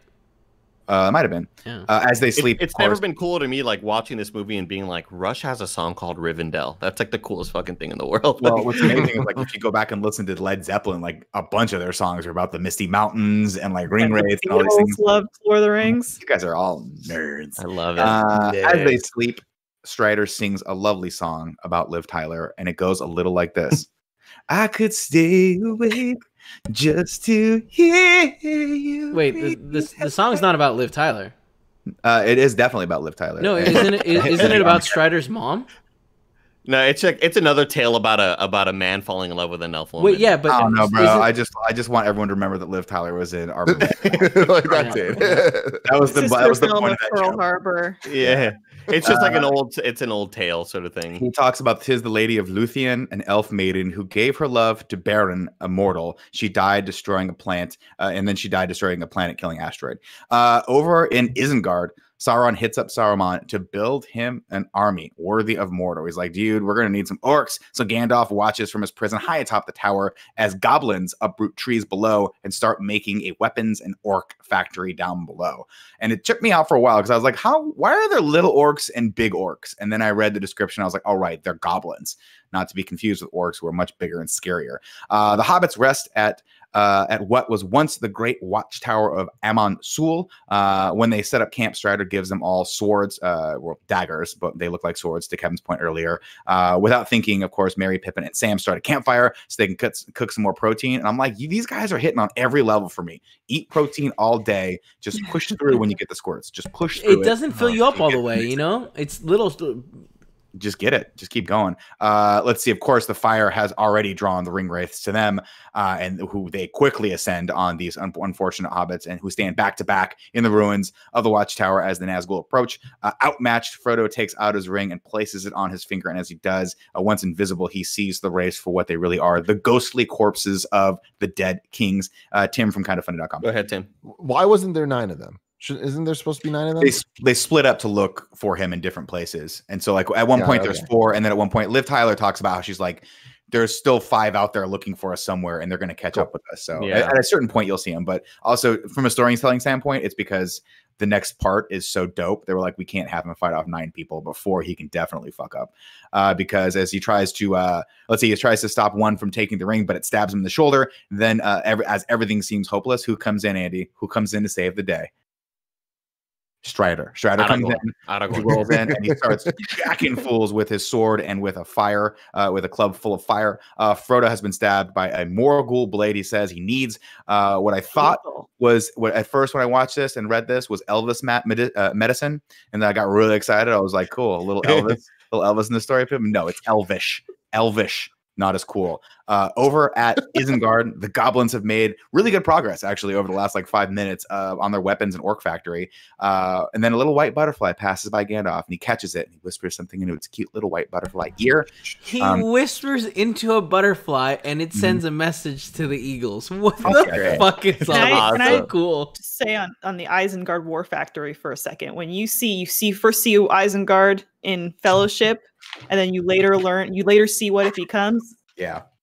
That's Well, just the scene of them tearing, just ripping the ripping gooey like skin off of the orc for the first time as it's coming out of the mud. Yeah. And And it screams and like crushes a goblin. You're like, dude. you know what I always think of when when he's you know you're, they're making the Uruk-hai is uh and they're like being birthed like that and they're, they're it's essentially like a machine they're processing these Uruk-hai as i think of in power rangers rita repulsa's like monster machine Yeah. Oh, Throw it out of the yeah. it equation. just, like spits out Wait, so are they are they making them there at, Yeah, at that mo- they're- they're, not pulling them out from No, they're a mix of uh, of uh, orcs Orc and, and- goblins.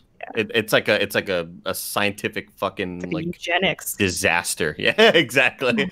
Mud So all, orcs aren't goblins? no, no, orcs and goblins are different, but Uruk-hais are a combination of both. The- Like some yeah the Uruk-hai are the big scary guys that No, like right, right. They're like the the, all the- I didn't know that. That's Yeah. cool. Uh, of course, uh, let's see. Uh, Frodo is passing quickly into the shadow world. So Strider tells Sam that we gotta we gotta get out there. We gotta find some king's foil to slow the poison. So he goes out into the forest looking, and of course, the only person that could actually sneak up on a ranger is none other than Liv Liv Tyler. who literally glows as she approaches Frodo. And here's a, a fun trivia fact, Sam. I don't know if you have this or not.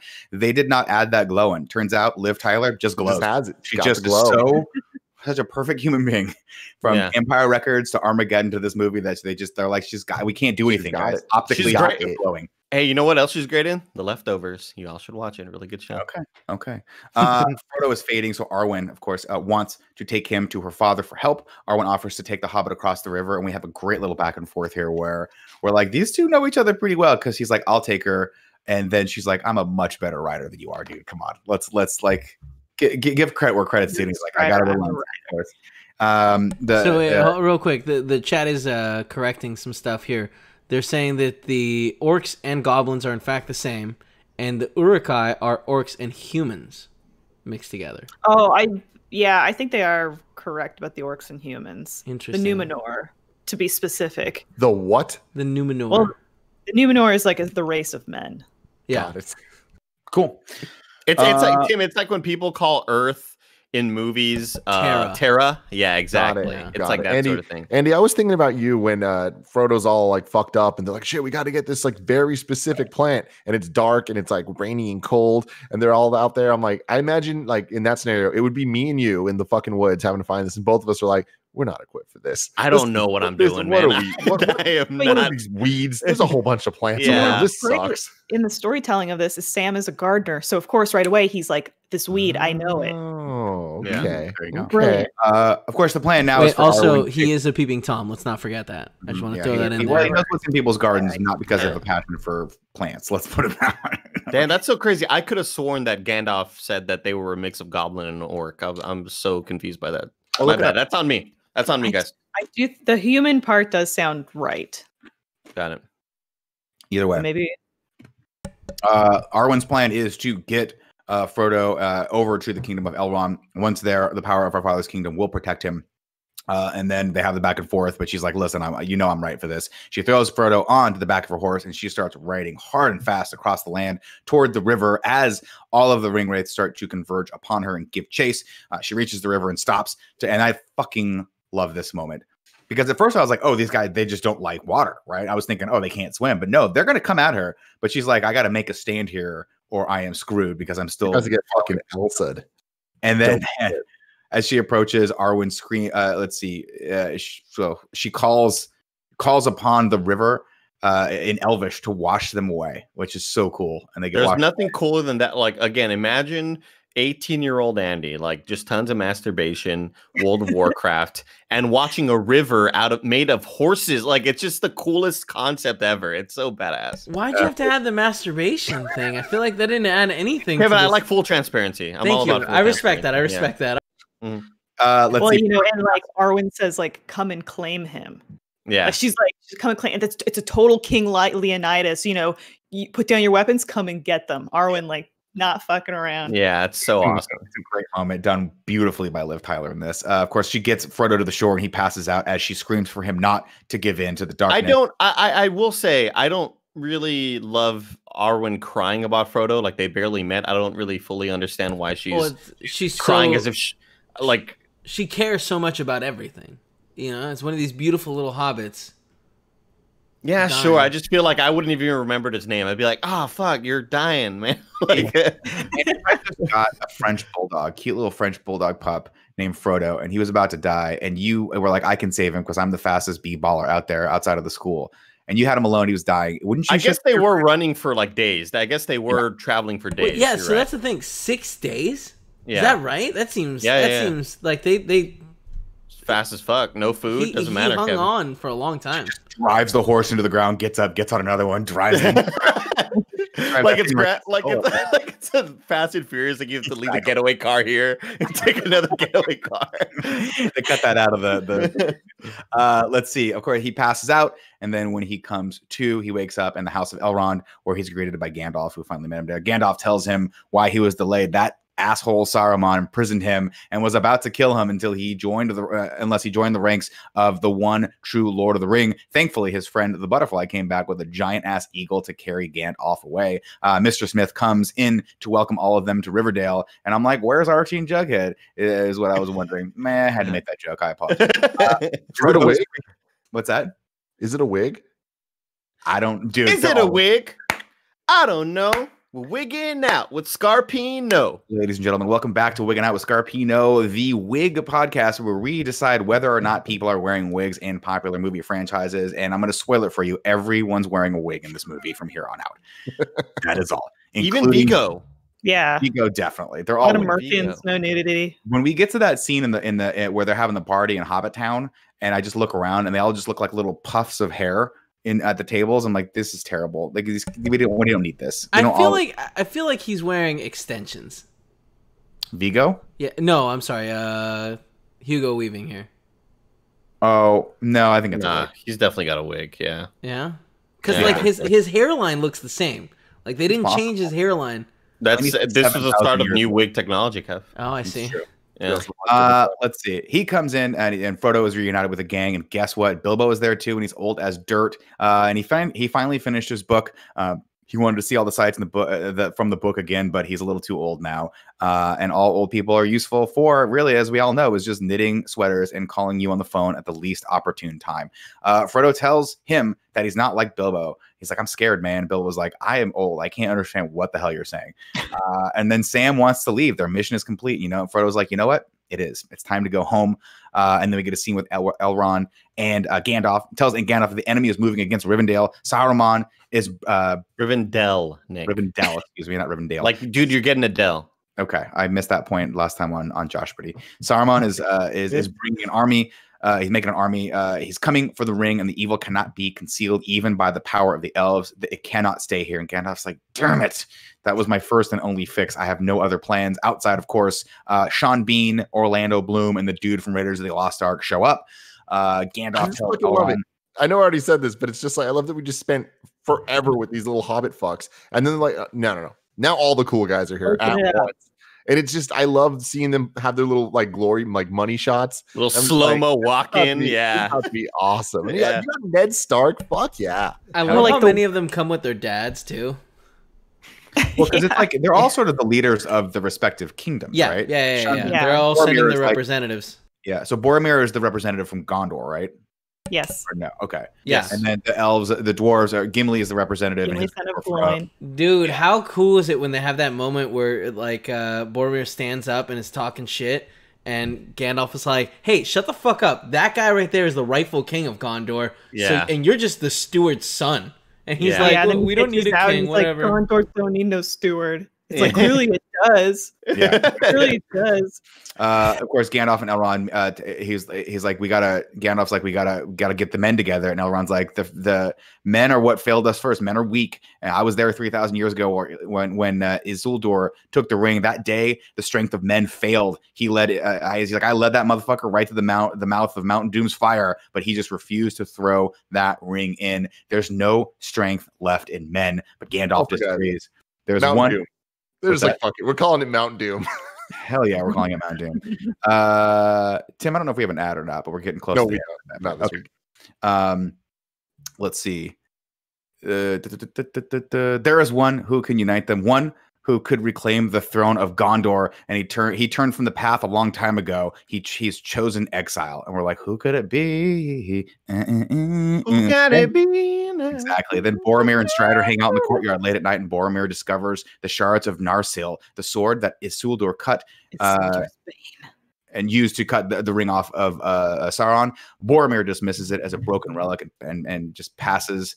Uh, oh, excuse me, a broken relic of the past, and then leaves it just as Arwen comes in and asks Strider why Strider fears the past. He is the heir of Isildur and the rightful ruler of Gondor, yet he has chosen to be a bum.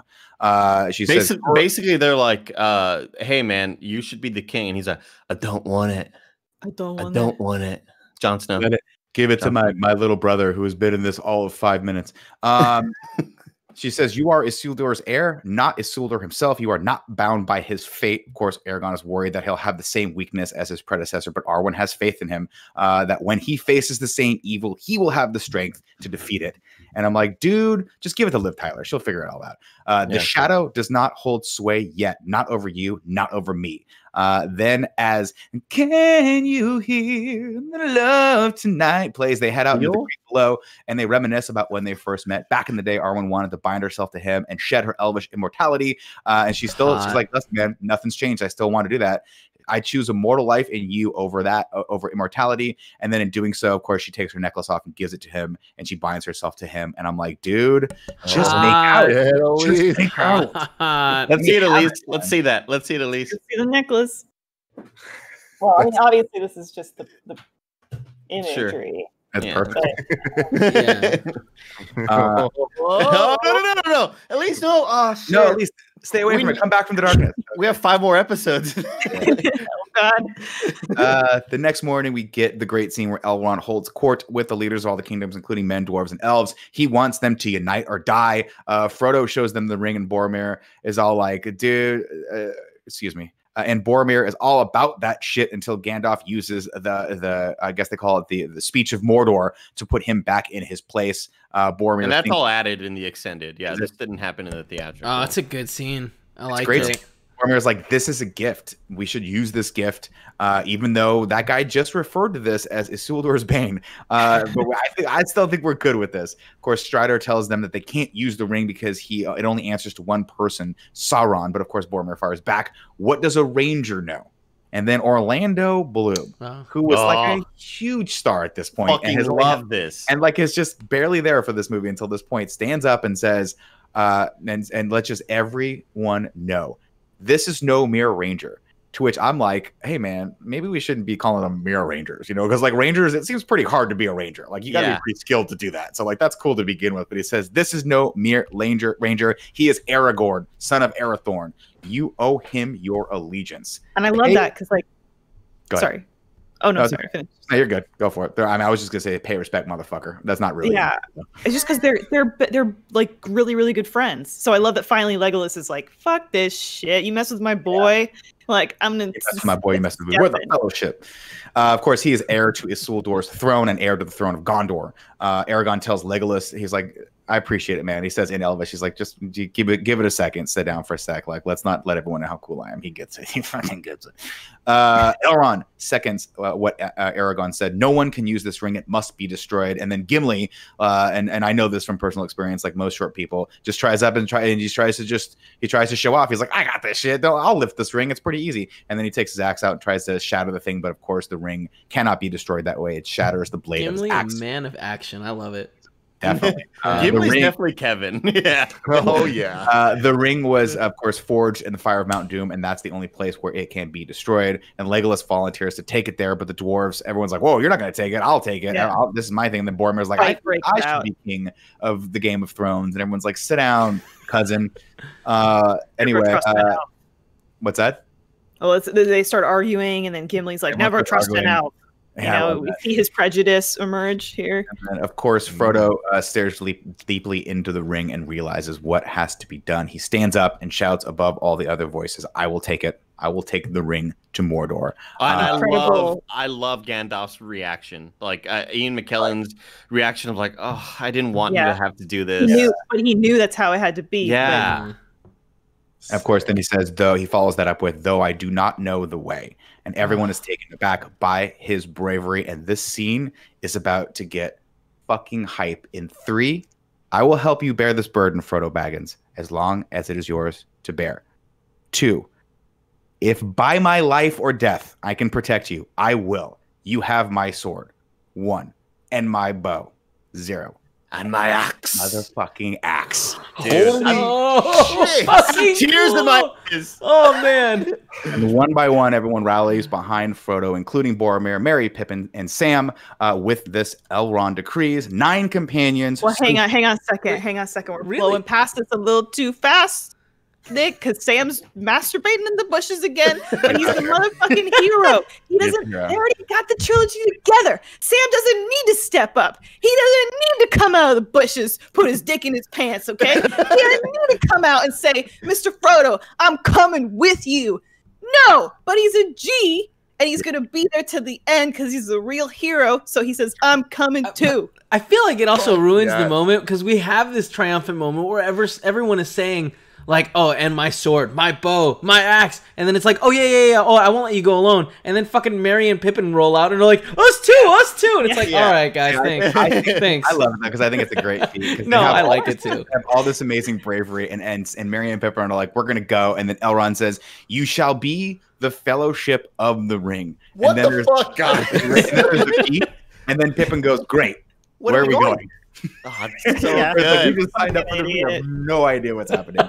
Uh, and dude, here's the thing. stopping point for us. How is this not the end of the movie? Like Yeah. that's the craziest Yeah. fucking thing. Like this feels like such a complete movie that would have ended on such a high point. Like no way. if this dude. was I mean, in theaters and this Yeah. ended here, I would have been like, "Let's Dope. fucking go!" I can't no, wait Tim, for the Tim, next. but thing. like, but like, oh my god, like again, future spoilers. I don't want to say, no, but just don't, like, don't, like, don't. let's go on some more. Like, are you fucking kidding me? That's like the coolest fucking line ever, dude. It's such, so a, good. such a beautiful moment, such a such an iconic moment too, and uh, it's so well done, so well done. oh man, I love it. I love it so much. And then Uh, the, the next scene I love so much too, where they like go right to the door, and fucking Frodo's like right or left. right or left. Yeah, that's that's, like from the, left, that's, that's fine. in the extended. That wasn't in the original either. Yeah. The extended man kinda added a lot of really cool scenes that I enjoyed. yeah. Uh, Tim, are we ready? yeah, Okay. Seven syllables in the middle. You'll need five for the first and last line. If you're not poetic, no need to fret it. Haikus don't need to rhyme. Haiku, Haiku in in review. review. Haiku. Haiku in in review. review. Ladies Every and time he says, you- "Are you ready?" I always think it's gonna be Ragu Bagu. By the way, and I'm always No, disappointed. never is. Every week's different. We're gonna do Ragu Bagu. We're gonna do it like every part. Fuck it. Why not? Um, but you can go to patreon.com slash kind of funny to write your review in haiku form, just like Lee Polero did. Some green screen looks bad. Overall, still amazing. Samwise is best boy. Gondor's Condor says an epic journey about golden cursed wings. No condors? Really? Grant Burton says one does not simply write an LOR haiku. This film is precious. that was good. I like was that one a lot. That was a And really then Josh C coming in to end this one. A new quest begins. They must destroy the one ring. My captain. My king. Doesn't need to rhyme, but I appreciate Doesn't when need it to does. Let's do some ragu bagu, Andy. Ragu. Ragu. What's up, everyone? Welcome back to Bad Rad Guys Talk Bad Guys, Lord of the Rings edition. Uh, we are going to be ranking all of the bad guys in all three of these movies: uh, Fellowship, Two Towers, and Return of the King. Starting off, I mean, it, this is going to be hard, but uh, who do we feel is the main bad guy in just this one? In part, in part Saruman, right? Saruman, I would say. right? Saruman, yeah. Which is the Saruman wizard. and the and the and the Wraiths. the wraith ring wraiths, yeah. All right. I would say you could Oh. argue that Boromir, not, Not yet. Not. I'd Not say yet. I'd say in the next one he's he is. I I'd Oh, say he you- plays a bigger part. thinking in of it. future the movie spoilers. Sorry, sorry. So I'm just thinking of the I didn't say any as, as future a- spoilers. Yeah. Maybe. I, I mean, I would Bean always gets just a bad place. Uh, I would say okay. I would say Saruman and, and the ring wraiths are Alright, the Number Yeah. one right now on Lord of the Rings Ragu Bagu is Saruman and the Ring Wraiths. And that sounds like a really cool 70s band that had one hit. I mean, Sauron, of course. He's not the immediate bad guy. Yeah, he's not the immediate. I think again, He's never again present. in in the future he becomes a more a bigger part of the threat. No So- pun intended. Oh, the ring. Chad is saying the ring. It's also a good. Sam's sex drive. Yeah. yeah. It, it only gets Sam in trouble though. Uh, we'll we'll leave it as Sauron in the ring for now until the ring and or Sauron in the ring wraiths for now until the ring really. and make up, sh- uh, make that- sure you follow us on Twitter at Ragu Bagu Vids. Uh, I'm gonna do the first tweet from this account in like three months, just because I just love this damn movie. Get it done. Get it Yeah. Uh, any closing thoughts on Fellowship of the Ring Part One, you guys? Very excited to watch part two. I'm gonna Me I'm gonna follow that bad boy up next week, and I and, and I'm glad we're all doing this. And Yeah, shout out to too. Elise for joining us today. this has been awesome. Thank you. I'm sorry if I've cut off or talked over anybody or like. No, got- that's what we do here. uh, You're I doing, just you're doing a podcast with me. I just did it to you. just trying so hard to reel in, you know, the passion, enthusiasm. I don't know how Andy's not sit. He's he's sitting there. We don't even see the blue shorts. I, I don't know how he's doing it. He's staying in his chair. I Oh don't know. Andy. It's, it's just this is uh, such a treat, and man, I can't like think of what a fucking journey we're gonna go have been on by the end of this. Yeah. We're gonna go it. there and back again. Man, now I, I have a question for you guys. That was good. That No, was I good. liked it. No, Yeah. no, I don't want no spoilers and stuff. Like just using names. Going into this, what are your guys' personal rankings of these three movies? Mm. going into this, uh, I I haven't watched them recently with a more critical eye. I'd Mhm. always say Two Towers is probably my favorite because of all the action scenes. But now thinking about it, I think Fellowship might be my favorite of them all. I think it might be in order actually, one, two, three. Now that I think of it, but then like, but then I but go then three, Return two, of the King- Return of the King has so many beautiful moments that just make me bawl my eyes out. Like, oh my god, dude, it's so hard. Okay, I so mean- Andy's one, two, three. Kevin's three, two, one. Nick. I think it's gonna be three. Or we're starting first to last. I think The three is gonna be the best. Second is gonna be Fellowship, and then Two Towers is gonna be uh, the last. Yeah, I'll go. I'll go one, three, two. Actually, Whoa, whoa. Oh, one. yeah. This is your favorite. That's interesting. Elise. fuck, I don't know, man. Uh, it's Two Towers is my number one, a hundred percent. Um, just so many great things set up in that movie. It's, Helm's Deep, you can't even can't even compare. It's all So many- incredible. It's so hard. It's all incredible. I it used to be two, three, one, but I will say one is climbing. Like one may even be on par with three. I now love that everyone just gave a different answer. Tim, like That's Tim, it's like fucking me asking you, what's your favorite Eminem song? Like yeah, it's, okay, okay. it's too many. Like I it's thought- so hard to. It kind of just like whatever you're feeling at that moment. Like I, I, so much of this trilogy is just it means so much to me, and it's so damn good and earnest, and like everything about it is just like so well made. Yeah, I just love this damn franchise. Well, I love it. We will return Wait, next Tim. Friday. Yes, Do you want me to show the the footage that We're we have gonna- here? and we're gonna end with that. Okay, cool. Yeah, we'll end, we'll end with that, Kev. Full screen without. We don't need our reactions. Uh, okay. Give me one. I gotta set that up. cool. Um, but yeah, we will return next Tuesday on twitch.tv slash kind of funny games to do uh, Clerks 2. We're getting to the end of the Kevin Smith View Askew universe. Um, then next Friday, we'll be back with Fellowship of the Ring Part 2, closing out the first Lord of the Rings movie. Elise will join us for the rest of all of these movies, which is very, very exciting. Thank you for that, by the way. Awesome. Thank It's you so cool having guys you. much. Thank you. Just I just so At least appreciate no, no, you at least guys don't do it. Don't do it. No, no, no, no, no, no, no. God, how are we gonna? Um, Kev, how, how long do you need for that? I, I think I have it set up. Let's give it a try. Okay, cool. Andrea Renee, we could not let her not be a part of this Lord of the Rings in review. So I told her, I was like, hey, whatever type of a feature you want to make, go for it. And she wanted to do little updates on hobbits throughout these movies. And I'm like, you know what? I That love sounds that. Sounds like a, that sounds like a good idea. So we're gonna we're gonna end the show with a little clip from our good friend Andrea Renee. The Kev, deep breath All right, before the you, plunge. you guys can't. You guys can't talk, or it'll pick you up. There Okay. it goes. What's good, kind of funny? Your girl Andrea Renee here. When I heard that you were doing a kind of funny in review of the Lord of the Rings extended edition, you know I had to be involved. I love Tolkien.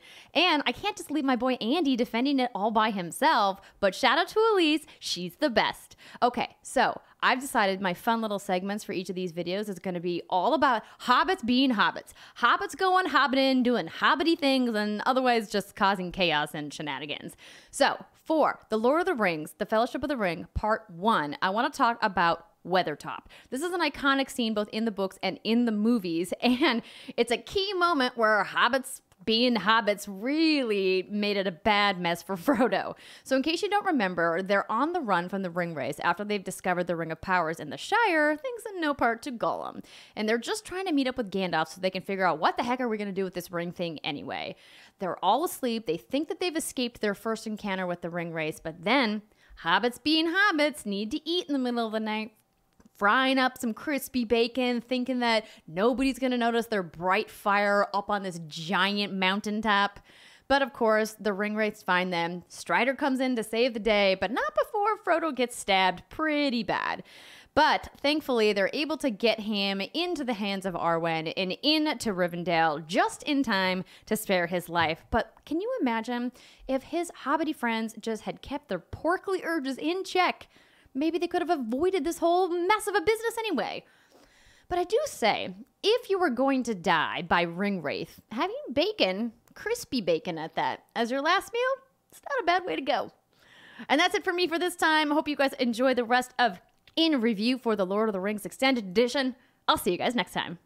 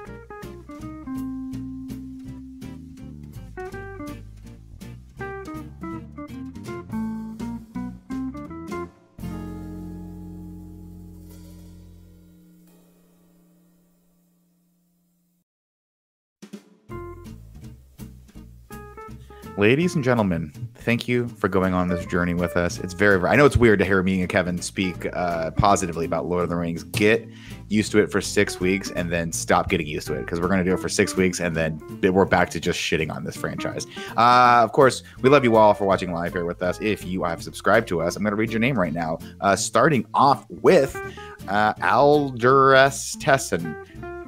I'm bad at this. Sub to Chris GG, uh, AWD, A Jub WG0926, Dazaman87, Aaron Bass 89, D Fuller Novo 616, Sam the Fightless, uh, Renegade, that's dope. You won today. Brown Albino, Big Bad Beluga, Eric 69, Slim Sniper Snake, Sab Phenom underscore Gifted Dim 63. Uh, let's see. Says hype PS5 on my 40th month, uh, 40 month streak. Yeah, love it. Uh, also, uh, Slim Super Super Snakes at PS5. A lot of people saying PS5. Uh, Esco Six is PS5. You guys must be have subscribed during that other show that happens before this that I never watch. Mick Nuts, uh, SSBB Phenom, Party, Tyler, The Real Rye Guy, Ro, uh, Roboster Hack, uh, Reveling Hippos.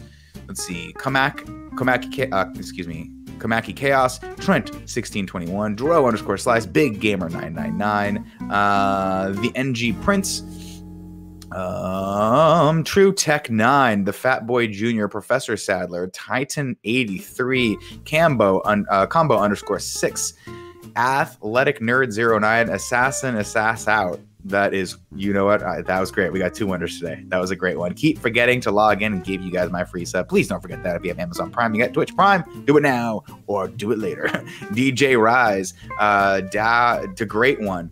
Uh, let's see. Elements X Elements 93, Lie Games, Joker Man D, uh, D Guy Zero, SSBB uh, Phenom has gifted a tier one sub. Uh, let's see. Moogie the Sky says, Fly, you fools. Melissa with a Y. Uh, Ed Ram 20, uh, let's see, uh, 214. No fear, I'm Batman. Keep, excuse me, Keykeeper One. Hey, so hype for this. Our group is watching this in, uh, in every, excuse me, this in the evening. Uh, Good Hunter, L. Rolf, Steven, Querable, uh, Andrea Renee says, "Oh, hey, look at that streak! Wow, she has subscribed to us for 18 months and did a great dynamite drop in on this episode. Everyone, go tweet at her and let her know how awesome that was." Uh, Cab BBQ, Sal G Non, uh, Infinite Zero Double O, Kobe Ashim Ashimaru uh, 85. Oh my God, how did I get that one? Kobayashi Maru 85. My bad. Uh, Viceroy 400. T Dog G2590. And finally, our final subscriber from 21 months today says uh, Shifty underscore GR says much love boys. Of course, T Dog uh, 2590. Sorry, I had a little mess there too. Said dad question mark. Son, is that you? Uh, we'll be back on Monday, everyone, with I believe we have cool friends. Andy has a cool special guest from ESPN uh, that we're going to run. And then, of course, I think Greg's doing. Yep, I think after that, Tuesday- Tuesday's uh, clerks too. So we'll be back with that as well. Love you all. Have a great weekend. Stay safe.